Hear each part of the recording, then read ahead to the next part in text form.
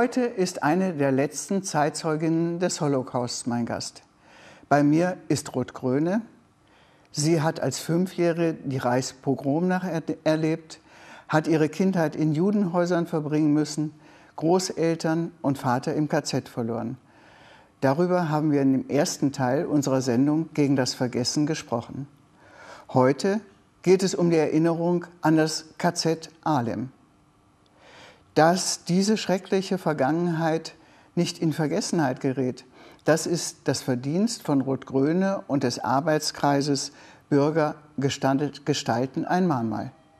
Frau Gröne, es hat ja ganz lange gedauert, äh, bis die Bevölkerung in und um Hannover überhaupt äh, sich mit dem KZ Ahlem befasst hat. Erzählen Sie uns doch einfach mal, weil es viele Menschen gar nicht wissen, was war denn dieses KZ Ahlem eigentlich? Ja, es war ja so, dass äh, zu Ende des Krieges, also 1944, wollten ja die Nazis noch den Krieg gewinnen. Aber jede Nacht äh, durch die Bombenangriffe wurden eben die Produktionsstätten hier in Hannover beschädigt. Das war die Maschinenfabrik Hannover, das war äh, äh, die Continental. Ja. ja. Und da haben sie äh, nach Möglichkeiten gesucht, die äh, Produktion unterirdisch zu verlagern. Äh, das ist in Deutschland an verschiedenen Stellen passiert, aber unter anderem hat man sich erinnert an die Asphaltstollen in Ahlem. Die haben schon äh, über 100 Jahre früher waren die schon, äh, wurde Asphalt dort gefördert. Dass diese Städten waren äh, nicht mehr, äh, nicht mehr äh, ergiebig genug, sodass die Stollen voll Wasser gelaufen waren. Man hat das ausgepumpt, man hat Sprengmeister geholt, natürlich Deutsche, äh, die das äh, kontrolliert haben. Man hat Sprengungen vorgenommen. Nun brauchte man Leute, die das gesprengte Gestein nach draußen befördern. Man musste ja die Gänge erweitern, vertiefen. Und es waren schon äh, jüdische Männer an die tausend äh, aus Lodz, das ist Litzmannstadt in Polen, nach Hannover deportiert worden. Sie waren vorher aus ihrer Heimatstadt äh, Litzmannstadt oder Lodz äh, nach Auschwitz deportiert worden mit ihren Familien. Sie selber waren junge, einigermaßen noch bei Kräften junge äh, Männer, äh, die hierher gekommen waren, um bei der Continental in der Reifenproduktion, in der Gummiproduktion zu arbeiten. Dann hat man diese ungefähr 1000 Leute äh, nach Ahlem gebracht. Die mussten zum Teil noch ihre Baracken selber aufbauen und hat sie dann in den unterirdischen Stollen diese schwere Arbeit verrichten lassen, bei wenig Essen, äh, bei unzulänglicher Kleidung. Äh, sanitäre Anlagen waren so gut wie gar nicht. Es war ja Winter. Das, was vorhanden war, war durch Eis und Schnee nicht mehr brauchbar. Und äh, die Sterblichkeit war natürlich sehr hoch. Was hinzukam, waren noch brutale Übergriffe äh, der sogenannten Kapos. Das waren oftmals Kriminelle, äh, die den, die der, äh, die Nazis äh, als sozusagen als Aufsichtsperson oder als Hilfskraft dienen mussten. Die waren oft sehr brutal, weil sie auch selber viel Brutalität äh, erfahren hatten. So ist in, in dem KZ äh, gemordet worden, mit Todesspritzen gearbeitet worden, im Revier sind Menschen abgespritzt worden, mit der Schaufel erschlagen, mit in, in Wasserbottichen ertränkt. Also es gibt die grausamsten Berichte der noch der Überlebenden denn es hat Überlebende gegeben. Sie selber haben ja ganz in der Nähe dieses KZs auch in den Asphaltstollen Zuflucht gesucht in den letzten Kriegstagen vor den Bombenangriffen. Wie war das? Ähm, warum sind Sie da hingegangen? Und dann später, wann haben Sie zum ersten Mal gemerkt, was da neben, sich, neben Ihnen vor sich ging? Naja, also es wurde Hannover wurde ja Tag und Nacht bombardiert in den letzten Kriegsmonaten und man war sich nirgends sicher. Äh, ich persönlich als jüdisches Kind durfte eigentlich keinen Luftschutzkeller aufsuchen. Aber meine Mutter hat gesagt, ehe wir jetzt im Keller des Judenhauses umkommen, ist es egal, wenn sie uns erwischen, wenn wir denunziert werden, dass wir in diese Asphaltstollen gingen, denn die Asphaltstollen waren, ein Teil dieser Asphaltstollen waren freigegeben für die Zivilbevölkerung als Bunker. Denn in der Nähe war kein Bunker und da hat man also diese Asphaltstollen für die Zivilbevölkerung freigegeben. Wir sind hin, dort hingegangen, wir haben äh, im Anfang äh, nur die Nächte dort zugebracht, weil ja hauptsächlich nachts bombardiert wurde, aber nachher auch am Tage. Und ich habe also die Gefangenen KZler gesehen. Ich habe nicht die Baracken gesehen, weil die oberhalb lagen. Es war ein hügeliges Gelände. Die konnten, da hatten wir keine Einsicht. Aber in den tiefer gelegenen Arealen, wo das Gestein aus den aus dem Stollen raus auf Loren und auf Schienen rausgeschoben wurde, zum Teil per Hand, dass mehrere so eine schwere Lore rausschieben musste, was sehr gefährlich war und auch sehr schwer. Äh, und sie haben die Loren abgekippt und sind dann mit den leeren Loren wieder zurückgegangen. Es soll auch Mechanik, also Mechanik gegeben haben. Das habe ich nicht gesehen. Ich habe nur diese ausgemergelten und fast verhungerten äh, Gefangenen gesehen, die Holzpantinen anhatten, um die Füße so Lappen gewickelt, äh, sehr, sehr abgemagert, sehr, sehr dünn in diesen dünnen, gestreiften Drillichanzügen und das, wie gesagt, im Winter. Und ich habe an meinen Vater gedacht, äh, ob es ihm wohl auch so geht, denn ich wusste, dass er in einem Konzentrationslager ist. Und das war ja auch ein Konzentrationslager. Mhm. Würde er so auch so leben, würde er auch so aussehen? Und ich habe mal zu Hause, wir hatten sehr, sehr wenig Lebensmittel und Brot war eine Rarität. Ja. Ich habe mal meiner Mutter ein, ein, aus, aus der Brotdose ein Stück Brot gestohlen, kann man sagen, habe es heimlich mitgenommen und äh, an der Seite, wo der Zaun war, äh, es gab natürlich um das Lager herum einen Zaun, der elektrisch geladen war, aber der Zaun zwischen dieser wo man die Gefangenen arbeiten sehen konnte. Und unserem Eingang zum Stollen war nur ein einfacher Maschendrahtzaun. Und ich habe durch diesen Zaun das Brot in eine, in eine Schubkarre geworfen. Ich habe später mal gehört, ich will nicht sagen, dass das einen Zusammenhang hatte, aber mir hat ein Überlebender erzählt, der Mosche Mitzinski, dass ihm genau das passiert ist dass er in einer Schubkarre Brot gefunden hat. Das könnte ihr sein. Und Sie haben dabei auch ein wenig dran gedacht? Das gehofft, weiß ich nicht. Dass jemand Ihrem Vater auch ein Stück ja, Brot gibt? Ja, aus Mitleid und aus äh, einer Emotion, das kann man gar nicht, man kann das eigentlich gar nicht äh, beschreiben. Denn wir hatten ja auch Angst. Wir hatten Angst, erwischt zu werden. Wir hatten Angst, äh, vor, dass wir durch Bomben umkommen. Wir haben auch Angst gehabt vor der Befreiung. Ja. Wir haben damit gerechnet, der Krieg geht zu Ende. Wir werden befreit durch Amerikaner oder Engländer. Was wird passieren? Werden uns die Nazis noch vorher umbringen? Es war eine sehr, sehr äh, schwierige und angstvolle Zeit. Sie haben die Befreiung der Amerikaner durch die Amerikaner denn erlebt. Sie waren gerade im Asphaltstollen. Was ist da passiert? Ja, Wie haben, haben Sie es erlebt? Letzten, die letzten Tage Tag und Nacht dort gelebt. Wir sind nur mal kurz am Tage äh, nach Hause gerannt, kann man sagen, um uns zu Hause ein bisschen was, den Steine kann man nicht essen, um uns irgendwie ein bisschen was zu essen zu holen. Wir haben zu Hause mal ein paar Kartoffeln gekocht. Auch das war sehr schwierig. Das Gas funktionierte nicht. Brennmaterial für den Ofen hatten wir kaum. Aber wir haben es fertiggebracht, äh, die Kartoffeln gar zu kochen. Wir haben nicht mal zu Hause Zeit gehabt, sie dort zu essen. Wir haben sie in ein Tuch eingeschlagen, sind schnell wieder in den Bunker gelaufen. Also wir haben es mal auf der Uhr nachgeguckt. Wir haben so siebeneinhalb bis acht Minuten gebraucht, im Dauerlauf da hochzulaufen.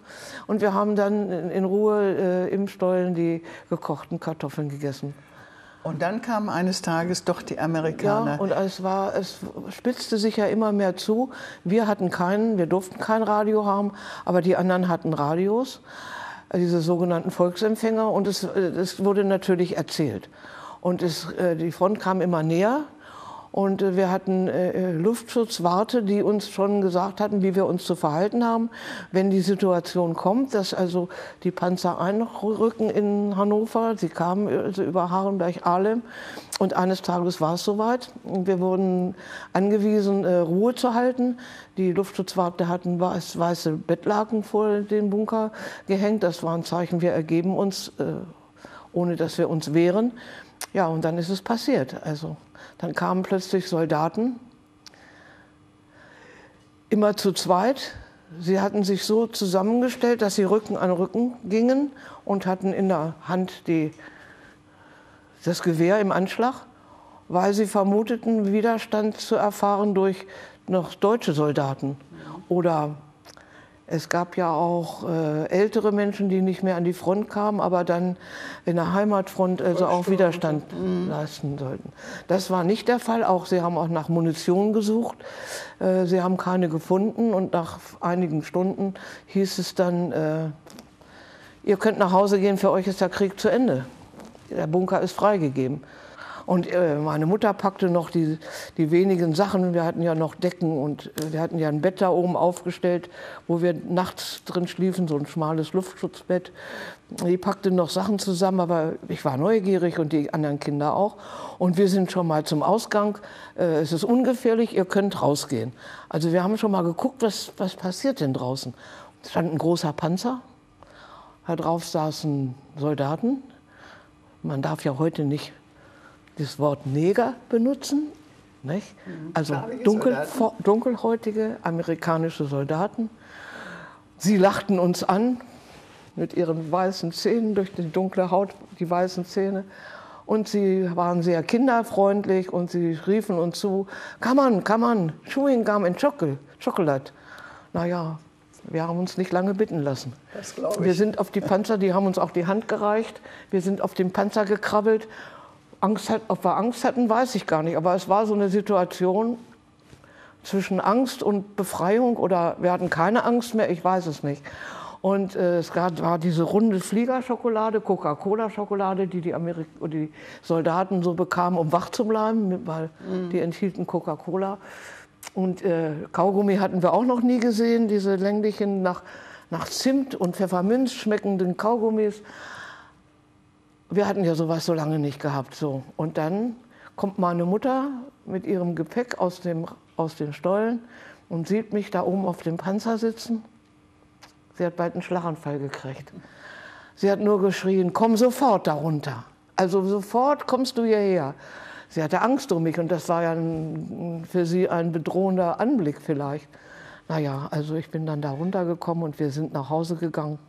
Unser, wir fanden unser Zimmer, wir hatten ja nur so ein kleines Zimmer, äh, da war, es war auch schon von den Soldaten äh, durch, durchsucht worden. Es war verblombiert mit so einer äh, Papierstreifen, aber wir durften das abmachen. Ja, es war Schluss. Ja, die Freiheit. Der Krieg war ja, eigentlich noch nicht zu Ende, Ende, denn es war der 10. April. Ja. Die eigentliche Kapitulation war ja fast einen Monat später, später, am 8. Mai. Jetzt werde ich oft von Schülern gefragt, ja, dann haben sie gefeiert. Na, wir, erstens hatten wir nichts zum Feiern und zweitens war uns auch nicht zum Feiern zumute. Denn es war bei allen die Frage, wo sind die Angehörigen? Wo sind sie und kommen, kommen sie wieder? Ja. Leben sie noch?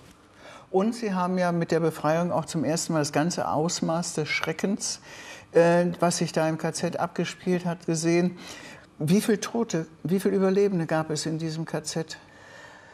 Zwischen 200 und 250 haben sterbend oder aber sehr entkräftet in den Baracken gehaust. Viele lagen in ihren Pritsch, auf ihren Pritschen oft zu zweit oder zu dritt und waren dem Sterben näher wie dem Leben. Äh, es hat, als bevor ich äh, einen Tag vorher vielleicht, bevor die Amerikaner da waren, äh, hatte, schon, hat es schon in dem KZ einen, einen Brand gegeben. Man hat versucht, äh, 600 waren am 6. April, das waren also vier Tage vor, der, vor dem Einmarsch der Amerikaner, waren schon 600 noch gehfähige Häftlinge von Alem auf einen Fußmarsch man kann sagen, einen Todesmarsch nach Bergen-Belsen getrieben mhm. worden. Die nicht mehr laufen konnten, 200, 250, lagen, wie gesagt, in den Baracken, zum Teil dem Tode näher wie dem Leben. Und äh, als diese Baracke gebrannt hat, die ist dann aber gelöscht worden, es ist nicht, nicht zum totalen Abbrennen gekommen, äh, wurden einige Gefangene aus diesem brennenden Baracke rausgetragen. Äh, es waren vielleicht acht oder zehn Leute. Die lagen einfach so auf der nackten Erde. Es war am 10. April ein warmer, sehr schöner Frühlingstag. Sie lagen da auf der Erde und ich habe noch nie einen Toten gesehen, Ich habe mich sehr erschrocken, diese abgemagerten Gestalten da liegen zu sehen.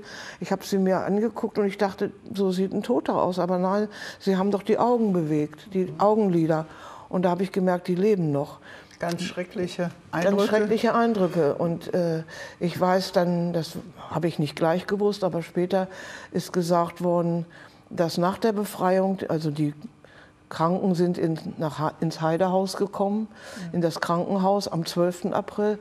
Und von denen, die ins Heidehaus gekommen sind, sind noch 51 Menschen gestorben, die nicht mehr wiederherzustellen waren. Ich denke mal, die auf der, den Tag auf, dem, auf der Erde gelegen hat, die waren so weit entkräftet, dass die auch nicht, auch nicht wieder lebendig. Ganz, ganz grausame und schwere Eindrücke. Sie waren ja auch eigentlich noch ein Kind, Sie waren zwölf, ja, war Jahre, zwölf Jahre alt. alt. Wie sind Sie an diese Fotos gekommen? Was haben die für eine Geschichte, diese Fotos? Naja, also die haben wir ja nicht gleich gehabt. Mhm. Die sind erst viele, viele Jahre später aufgetaucht. Und zwar ein, einer der Befreier mit Namens Vernon Todd äh, dieses Lager betreten, hat gesehen, was, was da ist äh, und es gibt einen, einen Ausschnitt, den werde ich gleich mal vorlesen. Er hat äh, das gesehen und er hatte eine kleine Kamera bei sich, eine kleine Box. Es war den Soldaten verboten zu fotografieren, aber er hat es doch gemacht. Er hat 18 Fotos gemacht. Er schreibt später, viele Jahre später, was ich in diesem Lager gesehen habe, war so schockierend, dass ich Bilder nach Hause schicken wollte, um es meiner Familie zu zeigen. Ich machte 18 Fotos von jedem, der in diesem Lager am Leben war. In der Armee hatten wir keine Radios oder Zeitungen, sodass ich nicht wusste, dass Hitler die jüdischen Menschen in dieser Art behandelte. Nach dem Krieg lagen diese Fotos für 50 Jahre in einem Schuhkarton in meinem Keller. Aber es hat auch lange gedauert, bis die Bürger von Ahlem sich mit dem Thema beschäftigt haben. Ein bisschen unverständlich, denn viele Menschen aus der Umgebung waren ja auch in diesen Stollen geflüchtet. Ja. Keiner hat darüber geredet. Es Nein. dauerte bis 1987. Ja. Sie sind eine der Mitinitiatorinnen äh, des Arbeitskreises Bürger gestalten ein Mahnmal. Wie können Sie sich das erklären, dass die Menschen so lange geschwiegen naja, haben? Ahlem war damals ein kleines Dorf. Heute ist es ja ein Stadtteil von Hannover. Und es hat damals wenige Leute gegeben und die hatten nun also dieses KZ auf gedrungen bekommen. Die mhm. wollten das ja vielleicht gar nicht und wollten natürlich nach dem Krieg dieses Image nicht gerne haben. Ja. Und so haben sie darüber geschwiegen. Äh, wenn man selber darüber gesprochen hat, wurde man mundtot gemacht oder es wurde gesagt, äh, das ist äh, eine Nestbeschmutzung. Also Adam war ein Nest. Ja. Unsere Tochter hat mal in der Schule darüber gesprochen und anschließend musste ich zur Lehrerin kommen, auf eine Tasse Kaffee trinken und sie hat mir äh, ganz deutlich gesagt, dass es nicht so angebracht wäre, das im Schulunterricht äh, zum Thema zu machen. Aber Sie haben sich durchgesetzt? 1994 wurde das Mahnmal eingeweiht? Ja, wir haben 1984 angefangen. Und mhm. zwar äh, stand in der Zeitung ein Aufruf äh, von den äh, Bürgern, Ahlem, Darfenstedt, Badenstedt. Das waren christliche, die kamen aus christlichen also Kirchengemeinden. Wir wollen uns doch mal damit beschäftigen, äh, was hier vor unserer Haustür passiert ist. Äh, dann haben sich damals 50 Leute gemeldet. Das hat sich ganz schnell reduziert auf 15 mhm. oder 18.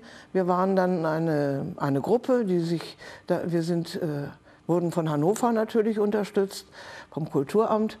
Wir haben erstmal äh, Konzentrationslager besucht, weil die meisten aus dieser Gruppe äh, sich auch noch nicht damit beschäftigt. Waren nach dem Krieg Geborene.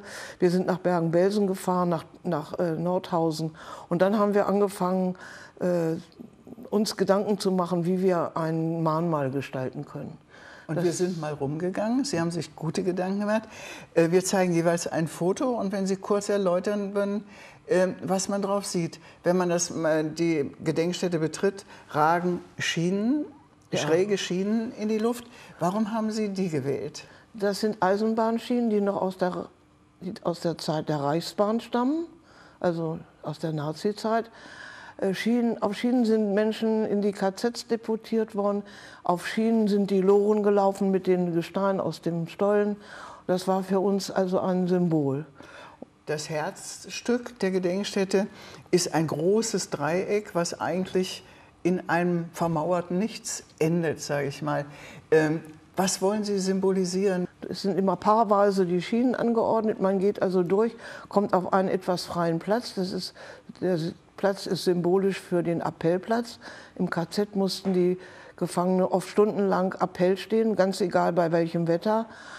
Äh, sie mussten gerade stehen. Wenn sie nicht anständig standen, wurden sie geschlagen. So, und dann von diesem, auf diesem Appellplatz, äh, auf diesem sogenannten, führen wir auch unsere Gedenkgottesdienste durch. Man kommt dann in, in man geht dann äh, etwas bergab, nach unten. Das ist auch ein, ein Symbol für den Eingang zum Stollen. Und äh, das läuft spitz zu. Also es gibt kein Entrinnen aus diesem Lager. Und wir haben Asphaltplatten, die natürlich symbolisch sind für das Asphaltgestein. Äh, wir haben äh, Platten gegossen und äh, in diese Platten haben wir unsere Gedanken mit Hammer und Meißel geschlagen. Wir hatten einen Kellerraum im ehemaligen Hanomach-Gebäude. Sowohl unsere Männer wie auch die Frauen haben eine Zeit lang jede Woche, immer mittwochs abends, mit Hammer und Meißel diese Platten bearbeitet. Es gibt einen schönen Zeitungsbericht aus der HAZ, den wir mal kurz einblenden. Sie selbst sind dort mit einer Tafel zu sehen, auf der Sie eine große 750 gerade meißeln. Warum? Ja, also das KZ war durchschnittlich mit 1000 Mann belegt. Ich sagte ja schon, 600 sind nach Bergen-Belsen getrieben, 250 oder 200 sind mehr oder weniger übergeblieben. Und diese 750 im Ganzen habe ich in diese Tafel eingeschlagen, 750 Tote. 750 Tote. Und diese Tafeln sind ja auch an die Innenseite der Betonwände äh, gekommen. Es sind viele Reliefs entstanden.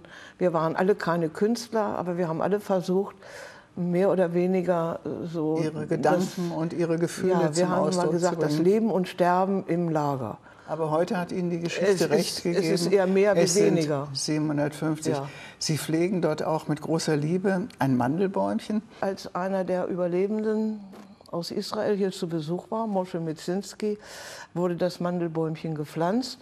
Und ich hatte von einer Reise aus Israel Jordanwasser noch zu Hause. Dann haben wir dieses Jordanwasser, damit haben wir das Bäumchen getauft. Und es blüht immer im Frühjahr, wenn wir da am 10. April zur Befreiung da einen Gedenkgottesdienst haben. Meistens blüht es dann sehr ja. schön. Sie haben mir mal gesagt, ähm, die Natur holt sich alles zurück. Wir standen auf dem Gelände, wo die eigentlichen Baracken waren. Da ist jetzt grün umwuchert. Es sieht eigentlich recht friedlich aus. Und doch ist es inzwischen ja schon gelungen, ähm, die Fundamente eines Teils des Lagers ähm, freizulegen. Mhm. Was empfinden Sie, wenn Sie auf diesen Fundamenten stehen? Ja. Also das Mahnmal was da, damals äh, angefangen ist und 94 eingeweiht wurde, hatte, ist leider nicht auf dem Originalgelände entstanden, weil das Originalgelände im Privatbesitz war. Wir haben ein anderes Grundstück bekommen, das der Stadt Hannover gehört hat und wir waren damit zufrieden. Aber in all den ganzen Jahren habe ich immer gedacht, die Fundamentreste sind ja noch zu sehen. Äh, der Besitzer hat uns äh, auf das Grundstück gehen lassen oder jedenfalls eine Dame, die dort ihren Wohnsitz hatte und auch äh, Überlebende dieses KZs, wenn die aus Amerika oder aus Israel kamen, die habe ich dann, haben wir dann auf dieses ehemalige Gelände führen können. Einer dieser Überlebenden sagte mal, hier hat die Baracke gestanden, in der ich mit meinem Vater gelebt habe und mein Vater lag eines Morgens tot neben mir. Und äh, auch schon die ganze Zeit vorher habe ich gedacht, man, man das, kann doch das nicht so lassen. Man muss diese Fundamentreste, das wenige, was noch zu sehen ist, unter Denkmalschutz stellen. Ich habe das versucht, 15 Jahre lang, immer vergeblich. Aber ich bin ein Mensch, der sehr beharrlich ist. Und dann ist es plötzlich doch gelungen. Vor zwei Jahren äh, war die Stadt Hannover plötzlich äh, daran interessiert. Es wurde ein äh, Pachtvertrag geschlossen, für, erstmal für 15 Jahre. Danach wird er sicherlich verlängert. Äh, diese Fundamentreste sind, äh, waren überwuchert von Bäumen, von Bäumen, die schon ganz schöne Höhe hatten. Von Buschwerk, das ist jetzt alles freigelegt worden.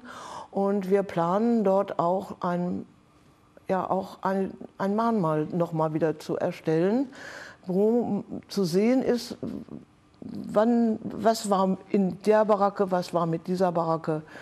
Also, Sie haben uns einen Plan mitgebracht. Ja, ähm, wir zeigen ihn mal, er ist noch gar nicht bekannt. Vielleicht können Sie mal ja. kurz erläutern, was man auf diesem Plan sehen kann, was geplant ist. Ja, also hier sieht man einmal den Umriss des KZ.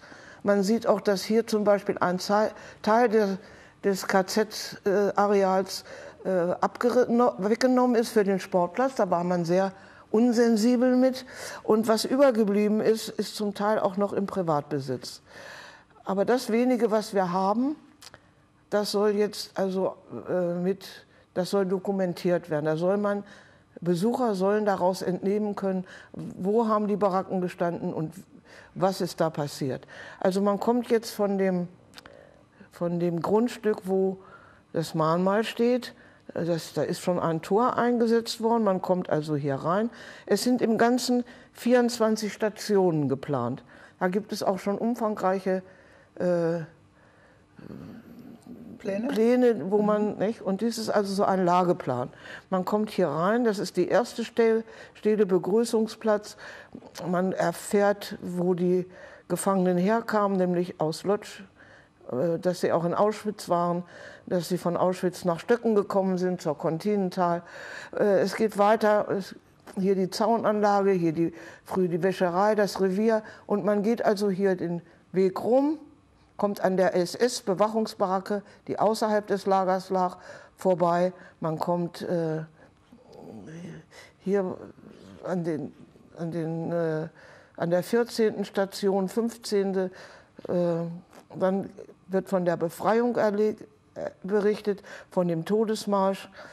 Und nach der Befreiung dann der Aufenthalt zur Genesung im Heidehaus, dann das Gedenken äh, von, den, von der Arbeitsgruppe Bürger gestalten ein Mahnmal und äh, so weiter und so fort. Das geht dann also, wie das Mahnmal entstanden ist und so also weiter. Ein umfassender Einblick ja, man, über das man Leben. Man geht also den Weg wieder zurück und kommt hier zum, zum Ausgang zurück und ist dann wieder auf dem Grundstück, wo das Mahnmal ist. Sodass also das Mahnmal jetzt nicht überflüssig geworden ist, sondern es, es wird ergänzt und durch das, Endpunkt. Durch das Originalgelände. Ja. Frau Gröne, man merkt, wie Sie für dieses Projekt glühen. Ähm, Sie, jeder weiß es in der Stadt, in der Region. Sie wurden vielfach ausgezeichnet. Zu Ihrem 80. Geburtstag haben Sie für Ihr hohes Engagement das Bundesverdienstkreuz bekommen. Glauben Sie, dass so etwas Schreckliches wie im KZ Ahlem passiert ist, nochmal wieder passieren kann? Ja, auf jeden Fall. Kann das, wieder, das kann immer wieder passieren. Denn äh, Menschen lernen nicht aus, aus ihren Erfahrungen. Das liegt vielleicht im menschlichen Wesen. Ich glaube, dass, äh, dass sowas jederzeit wieder passieren kann. Wenn, wenn das nicht so wäre, brauchte ich ja auch nicht äh, bemüht zu sein, den, nicht nur den jungen Leuten, sondern auch den, den Eltern, die auch von den heutigen Schülern auch nicht viel wissen. Also dann brauchte man sich nicht zu bemühen, man brauchte auch keine Mahnmale zu setzen und keine Gedenkfeiern zu machen. Dann wäre, würde man sagen, das Kapitel ist ein für alle Mal erledigt, das wird der Menschheit nie wieder passieren. Sie werden jetzt 82 Jahre alt. Heißt das, dass Sie die restliche Kraft, von der der liebe Gott Ihnen hoffentlich noch viel schenken wird, auch einsetzen werden, um weiter gegen dieses Vergessen ja, solange, zu kämpfen? Solange ich die Kraft habe, solange ich es kann solange die Mitstreiter äh, im Arbeitskreis Bürger gestalten ein Mahnmal mich noch für ernst nehmen und nicht sagen, du kannst eigentlich jetzt aufhören, äh, setz dich mal zur Ruhe. Aber dann würde ich merken, dass ich vielleicht äh, ein bisschen äh, Alzheimer kriege oder sowas, dann würde ich natürlich sagen, ich gebe euch das, also ihr seid so, so gut und ihr macht das so in meinem Sinne und ihr macht das so schön. Äh, da kann ich ganz befriedigt äh, auch mal nicht kommen. Und nicht, nicht, dann würde ich noch zu den Veranstaltungen gehen, aber vielleicht nicht mehr so aktiv. Ich wünsche Ihnen noch ganz viel Kraft, auch im Sinne aller Menschen hier in Hannover, die durch Sie so vieles erfahren, dass Sie noch lange gegen das Vergessen eintreten können? Ich hoffe. Schön. Ich hoffe. Danke, dass Sie da waren. Bitte schön. Habe ich gern gemacht. Wir sehen uns wieder in 14 Tagen. Bis dahin, machen Sie es gut.